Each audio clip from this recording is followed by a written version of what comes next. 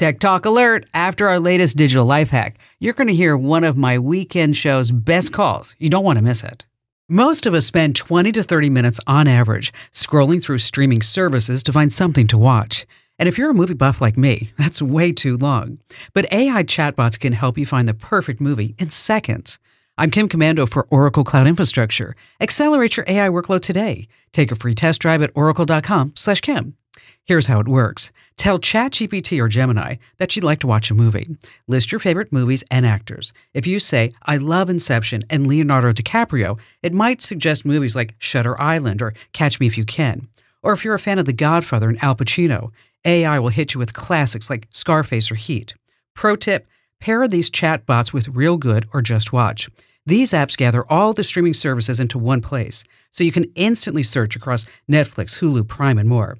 Type in those movie titles from the chatbot, and JustWatch or Reelgood will tell you which service has them at what price, or better yet, for free. Get my free newsletter at getkim.com. Hey there, tech lovers and wannabes. Want to stay ahead of the game? You've got to check out my YouTube channel. It's amazing. So many people are loving my new and improved channel. For starters, we've got fresh how to videos every week, like how to block those super annoying political text messages, let important calls through even in do not disturb mode. And oh boy, watch out for sneaky QR codes that can actually brick your phone. It doesn't stop there. Join me for Kim Komando Today, a fun podcast where we break down the latest tech news and trends. It's like talking tech with a friend, minus all the boring stuff. You'll get the latest tips and tricks to keep you in the know and have a little fun while doing it. Plus, who doesn't love being the tech savvy one in the crowd? So head to youtube.com slash kimkomando, hit subscribe, and make sure you never miss a new video or podcast. That's youtube.com slash kimkomando. And when you're there, be sure to hit that subscribe button. That's youtube.com slash kimkomando with a K, of course. And I'll see you on the video. As promised, I'm now bringing you a standout call from my weekend show. Uh, Karen in Casper, Wyoming. Hi there, Karen.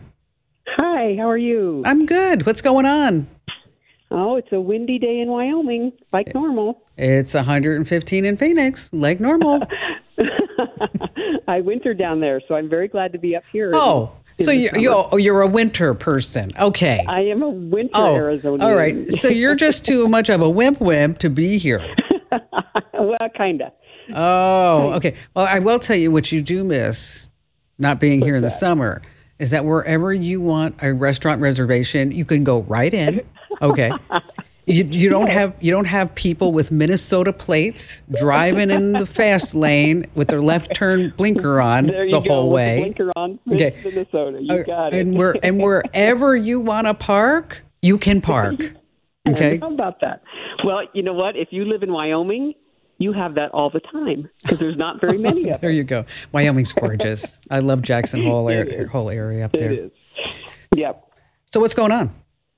Okay, so I have been told that Apple is not the best phone to have when you're doing banking transactions like Venmo or checking your balance, getting into your bank account. That Apple has the least secure of all the phones.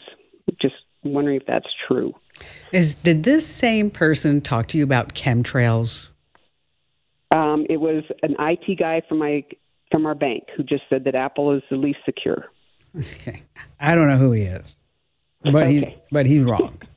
Okay, And I wouldn't take know. any financial advice from him either. Okay. Okay. I mean, you know, iOS the security is very much locked down. It actually has Okay. something called sandboxing.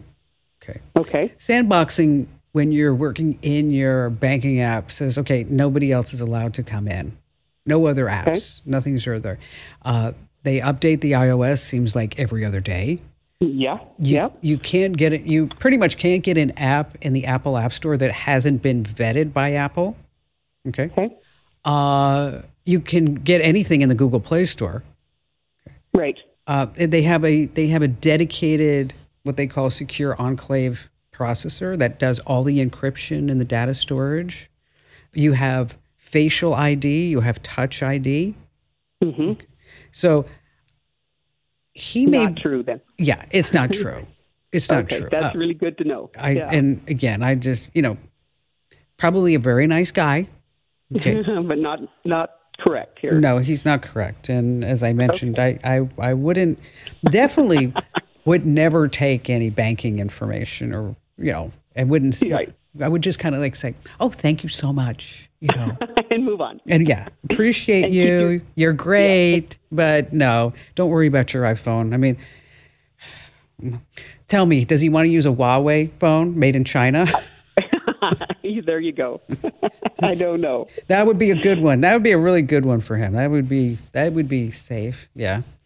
An iPhone, the least secure phone out there.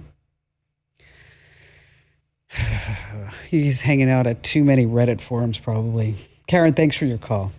Thanks a ton for listening. Now, if you have questions, comments, or just a digital dilemma, find your way to komando.com and hit that email Kim link. I treat each email like it's a VIP guest at a tech expo. Now, you can turn tech chaos into clarity. How? Well, you know, get my free daily newsletter over at getkim.com.